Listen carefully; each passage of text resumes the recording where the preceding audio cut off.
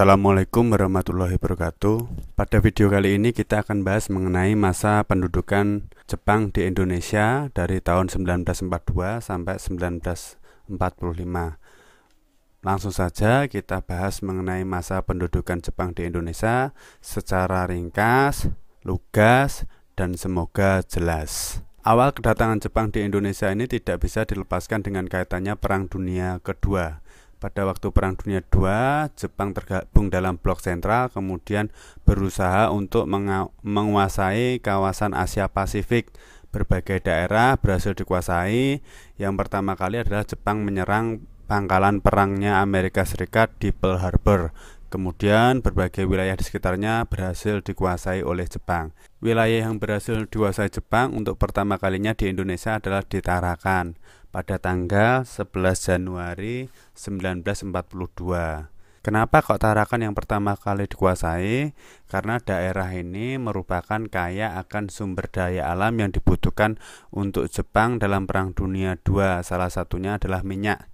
Kemudian Jepang menguasai berbagai wilayah lainnya, antara lain daerah Balikpapan, ini Balikpapan, kemudian Bali, kemudian ada Palembang, dan baru yang terakhir dikuasai adalah Jawa karena Jawa pada saat itu merupakan e, pusat kekuasaan Hindia Belanda.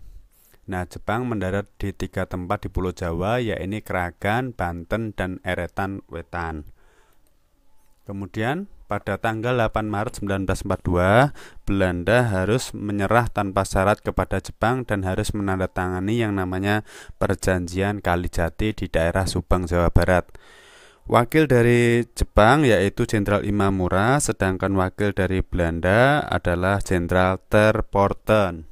Ini merupakan pertanda awal bagi kekuasaan Jepang di Indonesia dan berakhirnya sementara waktu kekuasaan Belanda dari Indonesia. Nah, kedatangan Jepang ke Indonesia ini memiliki tujuan antara lain Jepang ingin mengeksploitasi bahan mentah dari Indonesia yang kemudian digunakan untuk industri militernya. Kedua, Jepang ingin memanfaatkan sumber daya alam dan tenaga manusia Indonesia untuk melawan sekutu. Dan yang ketiga, Indonesia akan dijadikan pangkalan militer di wilayah, di wilayah Asia Pasifik. Kedatangan Jepang di Indonesia ini mendapatkan sambutan yang sangat antusias dari orang-orang Indonesia. Hal ini tidak bisa dilepaskan adanya uh, upaya Jepang untuk menarik simpati bangsa Indonesia Antara lain, yang pertama adalah mengaku sebagai saudara tua dari bangsa Indonesia. Yang pertama mengaku sebagai saudara tua bangsa Indonesia, yang kedua memiliki semboyan 3A, yang ketiga Jepang memperbolehkan penggunaan bahasa Indonesia sedangkan bahasa Belanda dilarang.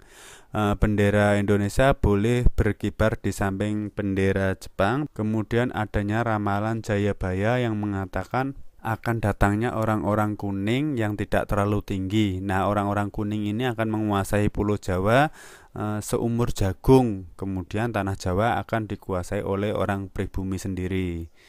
Yang selanjutnya adalah membebaskan e, beberapa tokoh yang ditahan Belanda pada masa pergerakan nasional seperti Soekarno, Muhammad Hatta, dan Sultan Syahrir. Tokoh-tokoh itu kemudian diajak bergabung dalam pemerintahan yang dibentuk oleh Jepang. Selanjutnya, pembagian wilayah masa pendudukan Jepang ini merupakan peta Indonesia dibagi menjadi tiga bagian yakni wilayah 1 meliputi Jawa dan Madura. Wilayah 1 diperintah Angkatan Darat ke-16 atau Rikugun dan pusatnya di Jakarta yang dipimpin oleh Panglima Hitoshi Imamura. Wilayah 2 itu meliputi Sumatera dan berpusat di Bukit Tinggi, diper, diperintah oleh Angkatan Darat ke-25 dipimpin oleh Jenderal Tanabe, sedangkan yang ketiga adalah wilayah Kalimantan, Sulawesi, Maluku, dan juga daerah Nusa Tenggara.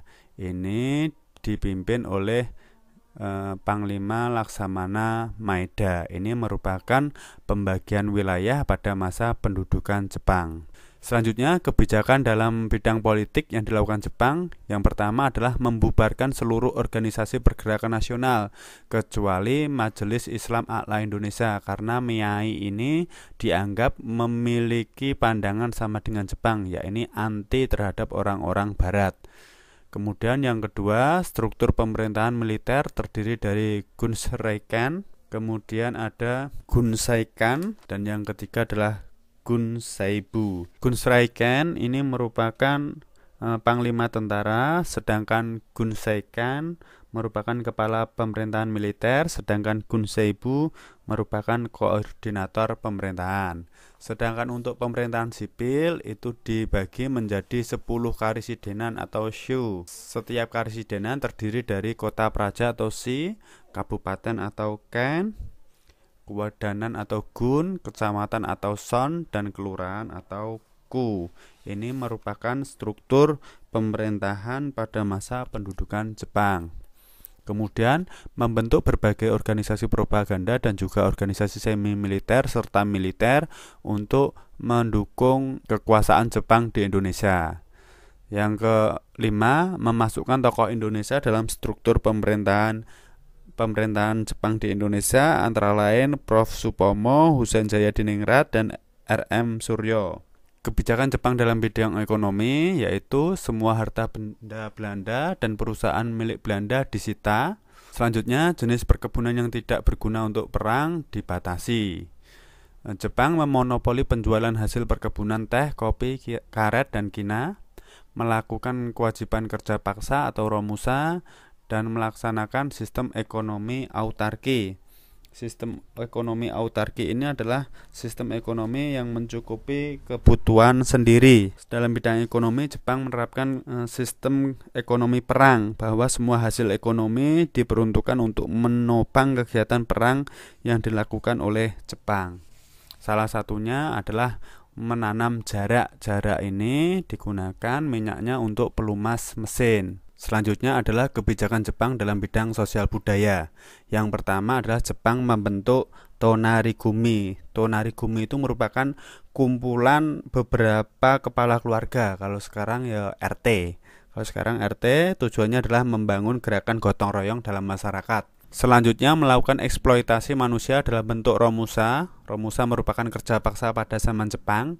Kalau zaman Belanda disebut kerja rodi dan yang kedua adalah Kinrohoshi yaitu wajib kerja tanpa upah bagi tokoh masyarakat seperti pamong desa atau pegawai rendahan dan Jugun Yanfu. Jugun Yanfu ini e, merupakan dianggap sebagai wanita penghibur. Awalnya mereka dikatakan untuk menjadi pekerja seperti guru atau perawat, tetapi ternyata mereka dijadikan sebagai wanita penghibur bagi tentara Jepang.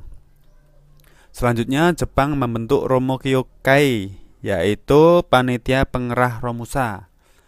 Terjadinya perubahan stratifikasi dalam masyarakat yang mana e, bangsa pribumi tidak lagi menempati urutan terbawah. Akan tetapi urutan terbawah pada masa pendudukan Jepang diduduki oleh orang-orang Eropa. Selanjutnya Jepang mendirikan Keimen Bunko Sidosa ini merupakan lembaga yang didirikan Jepang untuk mengurusi bidang kebudayaan. Kemudian Jepang juga melakukan Japanisasi salah satunya dengan melaksanakan Seikerei yakni upacara untuk menghormati matahari. Jadi setiap pagi orang-orang Indonesia disuruh untuk membungkuk ke arah matahari terbit. Jadi kita masih ingat bahwa julukan Jepang itu merupakan negara matahari terbit. Eh, salah satu yang disembah adalah dewa matahari. Kemudian banyak sekolah yang ditutup karena eh, para pemuda diwajibkan untuk mengikuti kegiatan militer. Selanjutnya organisasi-organisasi bentukan Jepang antara lain gerakan 3A yang diketuai oleh Mr. Samsudin 3A itu ini Jepang Cahaya Asia, Jepang Pelindung Asia, dan Jepang Pemimpin Asia. Tujuan dibentuknya 3A ini untuk uh, propaganda menarik simpati bangsa Indonesia untuk membantu Jepang. Akan tetapi gerakan 3A kurang signifikan dalam uh, mendapatkan bantuan rakyat Indonesia. Oleh karena itu, gerakan 3A dibubarkan dan diganti oleh putra. Selanjutnya ada Chuo Sangiin yaitu Badan Pertimbangan Pusat tujuannya memberikan saran kebijakan terhadap pemerintah Jepang dalam mengambil kebijakan e, di Indonesia. Yang ketiga, Putra. Putra merupakan pusat tenaga rakyat. Tokohnya adalah Insinyur Soekarno, eh, Muhammad Hatta, Kiai Haji Mas Mansur, dan Ki Hajar Dewantoro atau Suwardi Suryaningrat. Eh, empat tokoh ini terkenal dengan nama Empat Serangkai. Kalau zaman Belanda dulu ada namanya tokoh tiga serangkai dari Indische Partij. Kalau pada masa pendudukan Jepang itu empat serangkai. Tujuan dari putra adalah memusatkan kekuatan untuk membantu Jepang dalam perang. Akan tetapi e, ternyata putra itu lebih bermanfaat bagi orang Indonesia karena tokoh empat serangkai ini ternyata menanamkan nilai-nilai nasionalisme kepada rakyat Indonesia dan akhirnya Putra dibubarkan diganti Jawa Hokokai yaitu himpunan kebaktian Jawa yang bertugas untuk mengumpulkan dana baik berupa uang maupun hasil bumi. Organisasi Jawa Hokokai ini hanya berkembang di daerah Jawa sementara di luar Jawa eh, organisasi ini tidak bisa berkembang. Selanjutnya, organisasi militer bentukan Jepang antara lain Heiho, yaitu pemuda yang memiliki usia 18 sampai 25 tahun, berpendidikan minimal sekolah dasar, diikut sertakan dalam berbagai medan pertempuran, contohnya saja di Burma, di Vietnam, di Filipina dan daerah lainnya berada di bawah komando militer tentara Jepang. Sedangkan yang satunya adalah pembela tanah air atau PETA atas inisiatif dari Gatot Mangkupraja mengusulkan kepada pemerintah Jepang untuk membentuk mm, pembela tanah air. Dapat jenjang kepangkatan antara lain Daidancho, Chudancho, Sudancho, dan Budancho. Tujuan dari peta adalah membela Indonesia dari serangan sekutu ada beberapa tokoh Indonesia yang nantinya uh, ikut berjuang dalam mempertahankan kemerdekaan yang merupakan lulusan dari peta seperti Soeharto, seperti Jenderal Sudirman itu merupakan lulusan dari peta. Organisasi semi militer bentukan Jepang antara lain Seinendan yakni Barisan Pemuda, Kaibo dan Barisan Pembantu Polisi, Gaku Kotai merupakan laskar pelajar untuk sekolah menengah, Susentai barisan pelopor, dan Fujinkai barisan wanita. Selain itu juga ada e, polisi rahasia Jepang yakni Kampetai. E, pemerintah pendudukan Jepang yang sewenang-wenang kemudian menimbulkan berbagai perlawanan yang dilakukan oleh bangsa Indonesia terhadap Jepang terdapat berbagai cara dalam rangka e, melakukan perlawanan terhadap Jepang. Yang pertama adalah perlawanan kooperatif. Jadi perlawanan kooperatif ini mau bekerja sama dengan pemerintah Jepang. Karena tokoh nasionalis menganggap bahwa Jepang itu sangat tegas dan kejam sehingga mereka tidak mau jatuhnya korban apabila perjuangan dilakukan secara non kooperatif akan eh, terjadi jatuhnya korban dari bangsa Indonesia. Contohnya saja eh, Soekarno, Hatta, Kiai Haji Mas Mansur, Kiai Hajar Dewantoro. Ini merupakan tokoh yang eh, berjuang secara kooperatif, yakni bekerja sama dengan pemerintahan pendudukan Jepang. Yang selanjutnya adalah perlawanan bawah tanah, yakni perlawanan secara sembunyi-sembunyi yang dilakukan oleh kelompok Soekarni. Kemudian ada kelompok Sultan Sahrir, ada kelompok Ahmad Subarjo atau kelompok Kaigun, kelompok Amir Sarifudin. Kelompok Amir Sarifudin ini dikenal sebagai golongan yang sangat antifasis. Ini merupakan tokoh yang berjuang bawah tanah, artinya secara sembunyi-sembunyi tidak melalui organisasi bentukan Jepang. Perlawanan bersenjata bangsa Indonesia terhadap Jepang antara lain perlawanan Kiai Zainal Mustafa di Singaparna karena menolak Saikere, perlawanan Tengku Abdul Jalil di Cot Plieng Aceh, perlawanan peta di Aceh yang dipimpin oleh Teuku Hamid, perlawanan peta di Blitar dipimpin Supriyadi, perlawanan rakyat Indramayu dipimpin oleh Madrias, eh, perlawanan di daerah Kalimantan yang dipimpin oleh Pang Suma, dan perlawanan di Irian yakni di daerah Biak yang dipimpin oleh Rom Korem. Ini merupakan berbagai bentuk perlawanan bangsa Indonesia terhadap Jepang. Nanti perlawanan terhadap Jepang di Indonesia secara panjang lebar akan kita bahas pada video tersendiri.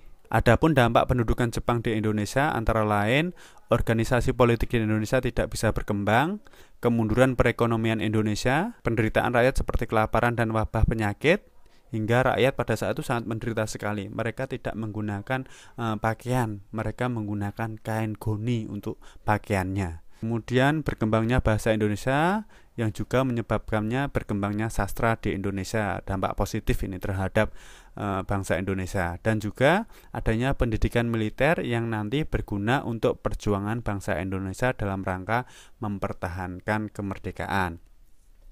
Nanti pada akhirnya Jepang semakin terdesak dalam pertempuran di daerah Pasifik e, setelah dijatuhkannya bom Hiroshima dan Nagasaki akhirnya Jepang menyerah pada tanggal 14 Agustus. Maka semenjak tanggal 14 Agustus itu bangsa Indonesia memasuki istilah namanya vacuum of power, yakni kekosongan kekuasaan.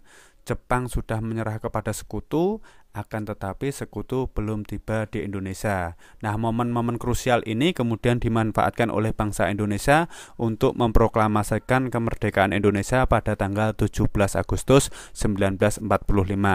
Demikian materi mengenai masa pendudukan Jepang di Indonesia dari tahun 1942 sampai 1945. Eh, semoga bermanfaat. Mohon maaf apabila ada kesalahan. Assalamualaikum warahmatullahi wabarakatuh.